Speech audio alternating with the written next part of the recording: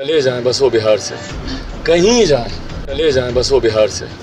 कहीं जाएँ, बस मेरे बिहार को बख्श दें, राष्ट्रपति बने, उपराष्ट्रपति बने, रूस के राष्ट्रपति बने यूएन के जनरल सेक्रेटरी बने, जो बनना बने। बस मेरे बिहार को बच दें ताकि बिहार में हम लोग काम कर पाए। मेरे रिश्ते मुख्यमंत्री से अच्छे हों, बुरे हों, उससे क्या फ़र्क पड़ता है बिहार को? मेरे रिश्ते मुख्यमंत्री से अच्छे हों, बुरे हों, उससे क्या फ़र्क पड़ता है बिहार को? बिहार के मुख्यमंत्री नीतीश कुमार अगर बिहार छोड़कर केंद्र की ओर रुख करते हैं या बिहार छोड़कर कहीं भी जाते हैं तो वैसे बिहार का भला होगा। चिराग पासवान ने साफ़ तौर पर कहा है कि वैसे भी क्या उखाड़ पाए हैं। ऐसे में अगर वो कहीं चले भी जाते हैं तो बिहार के लिए ज़्यादा अच्छी बात होगी। क्या कुछ कहा है चिराग पासवान ने, वो आप सुने।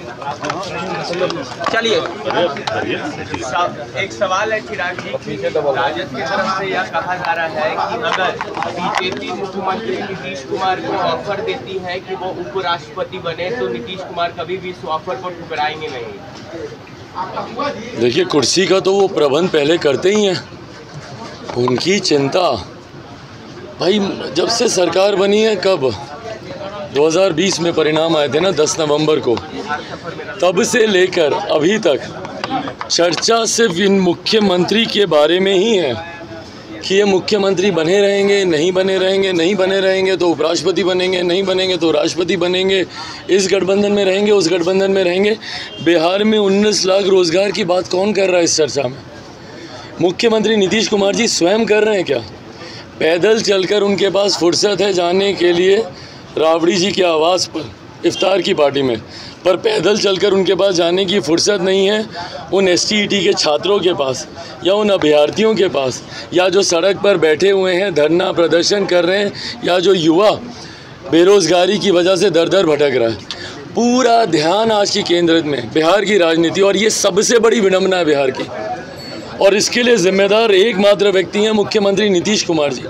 बिहार की विडंबना बन गई है भैया कि हमारे पास आज की तारीख में चर्चा करने के लिए सिर्फ़ मुख्यमंत्री की कुर्सी बच गई है। कि वो राष्ट्रपति बनेंगे, उपराष्ट्रपति बनेंगे? भाई, जो आज की तारीख में हैं, वो बनकर क्या उखाड़ पा रहे हैं, बताएँ तो? वो बनकर वो प्रदेश में क्या कर पा रहे हैं? ना रोज़गार दे पा रहे हैं, ना शिक्षा दे पा रहे हैं। बिहार में रोज़ लोग मर रहे हैं, भाई, रोज़ लोग मर रहे हैं। रोज़ हत्याएँ हो रही हैं। कोई दिन ऐसा नहीं है जब मैं यहाँ पटना में हूँ। रोज़ किसी ना किसी ज़िले में। अभी भी हम लोग जा रहे हैं, समस्तीपुर हम लोग जा रहे हैं। फिर उसके बाद वैशाली, हाजीपुर का कार्यक्रम है, कल हम लोग जा रहे हैं गोपालगंज और उसके बाद औरंगाबाद कल ही शाम को। रोज़ हम लोग दो दो तीन तीन ज़िले का हम लोग दौरा कर रहे हैं। क्यों? आपकी बदहालियों की वजह से। जिस तरीके से बिहार में आपने व्यवस्था बना रखी है। तो हकीकत तो है ही। तो जो राजद कह रही है, गलत क्या कह रही है? सही कह रहे हैं ये लोग। भाई, मुख्यमंत्री पहले अपनी अगली कुर्सी का बंदोबस्त करते हैं, तब वो पिछली कुर्सी का त्याग करते हैं। 2017 भाई किसी भी नेता के भविष्य को देखना हो ना, उनकी कार्यशैली को देखिए, इतिहास देखिए उस नेता का, किस तरीके से कामकाज रहा है उनका।